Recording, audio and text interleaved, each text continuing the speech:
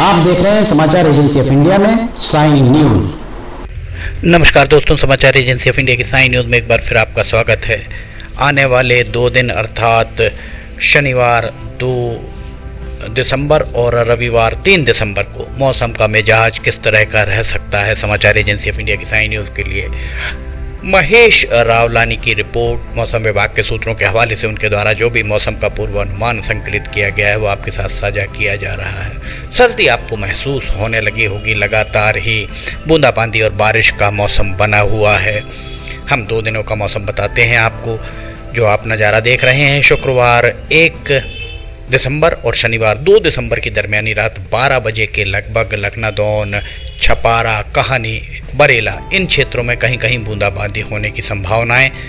रात में यही नज़ारा रह सकता है। सुबह के लगभग पाँच बजे के लगभग बूंदाबांदी थमती हुई आपको नज़र आ सकती है और लखनादौन से अगर आप नरसिंहपुर तरफ़ जाएँगे तो हल्की फुल्की बूंदाबांदी होने की संभावना वहाँ पर मौसम विभाग के सूत्रों के द्वारा बताई गई है।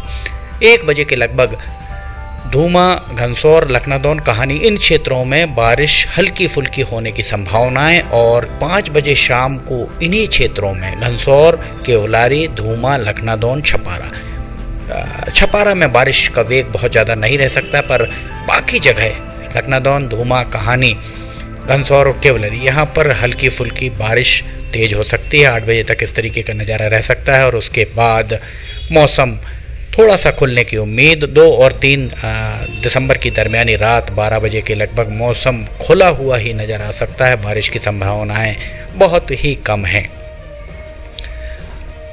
12 बजे के बाद तीन दिसंबर को 12 बजे के बाद भी इसी तरह का नज़ारा रहने की उम्मीद। मौसम लगभग खुला ही नज़र आ सकता है। रविवार को रविवार 12 बजे तक का मौसम खुला रह सकता है। समाचार एजेंसी ऑफ़ इंडिया की साइन न्यूज़ के लिए महेश रावलानी की रिपोर्ट। मौसम विभाग के सूत्रों के हवाले से उनके द्वारा जो भी मौसम का पूर्वानुमान संकलित किया गया, वो आपके साथ साझा किया जा रहा है। अब हम आपको तापमान के बारे में बताते हैं। तापमान किस तरह का रह सकता है? उसके पहले हम आपको बिजली की कड़कन तड़कन रह सकती या नहीं, इसके बारे में बताते हैं। दो और, एक और दो दिसंबर की दरमियानी रात 12 बजे के बाद हम आपको दिखाते हैं कि बिजली की तड़कन तड़कन रह सकती कि नहीं। पूरी रात तो बिजली चमकते हुए कहीं दिखाई नहीं दे रही है। दो तारीख को दिन में एक बजे के बाद उत्तरी, जो उत्तर वाला सिरा है धुमा के आसपास कहीं बिजली चमकती हुई दिखाई दे सकती है थोड़ी देर के लिए। तीन दिसंबर को भी हम आपको दिखाते हैं कि तीन दिसंबर को किस तरह का मौसम का मिजाज रह सकता है। बिजली की कड़कन तड़कन रहेगी अथवा नहीं। दोपहर तक, तीन दिसंबर को शाम तक भी कहीं बिजली चमकती हुई दिखाई नहीं दे रही है और उसके बाद रात 12 बजे तक भी बिजली की चमक कहीं दिखाई नहीं दे रही है। समाचार एजेंसी पीटीए की साइन न्यूज़ के लिए महेश रावलानी की रिपोर्ट। हम आपको अब तापमान के बारे में बताते हैं। मौसम विभाग के सूत्रों ने जो जानकारी दी है, दो और तीन दिसंबर को लगभग 16 डिग्री सेल्सियस न्यूनतम तापमान रह सकता है। अब हम आपको दिखा रहे हैं, ये एक और दो दिसंबर, अर्थात शुक्रवार और शनिवार की दरमियानी रात 12 बजे के लगभग ज़िले भर में 19 से 20 डिग्री सेल्सियस के बीच तापमान अधिकतम रहने की उम्मीद, सुबह 6 बजे के लगभग तापमान 18 से 19 डिग्री सेल्सियस के बीच रहने की उम्मीद 9 बजे 19 से 20 और 21 डिग्री सेल्सियस भी हो सकता है। 10 बजे के बाद तापमान 25 से 26 डिग्री सेल्सियस तक पहुँच सकता है। तीन बजे दिन में 26 से 28 डिग्री सेल्सियस के लगभग शनिवार को तापमान और छः बजे के बाद एक बार फिर ठंडक महसूस हो सकती है। 20 से 22 डिग्री सेल्सियस के बीच तापमान रहने की उम्मीद। रात 9 बजे 19 से 21 डिग्री सेल्सियस के बीच तापमान रह सकता है। दो और तीन दिसंबर की दरमियानी रात तापमान 18 से 19 डिग्री सेल्सियस रह सकता है। तीन तारीख को भी न्यूनतम तापमान लगभग 16 डिग्री सेल्सियस रहने की उम्मीद। 16 से भी कम हो सकता है तीन तारीख को, क्योंकि अधिकतम 16 से 17 डिग्री सेल्सियस सुबह चार बजे के लगभग तापमान रहने की उम्मीद। 8 बजे के लगभग 20 से 21 डिग्री सेल्सियस के बीच तापमान रहने की उम्मीद। 10 बजे के बाद रविवार को 25 से 27 डिग्री सेल्सियस के बीच तापमान रहने की उम्मीद। शाम चार बजे तेईस से पच्चीस डिग्री सेल्सियस के बीच तापमान रह सकता है और रात आठ बजे इक्कीस से बाईस डिग्री सेल्सियस के बीच तापमान रहने की उम्मीद।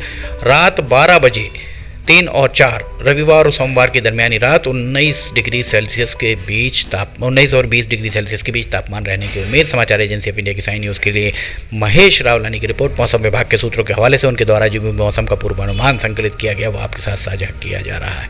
अब हम आपको हवाओं की दिशा और गति के बारे में बताते हैं।